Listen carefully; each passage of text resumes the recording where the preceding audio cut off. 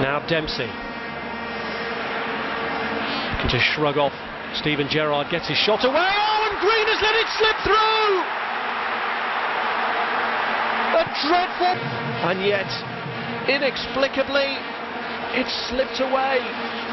Green is the man most in focus now. And this is the reason why.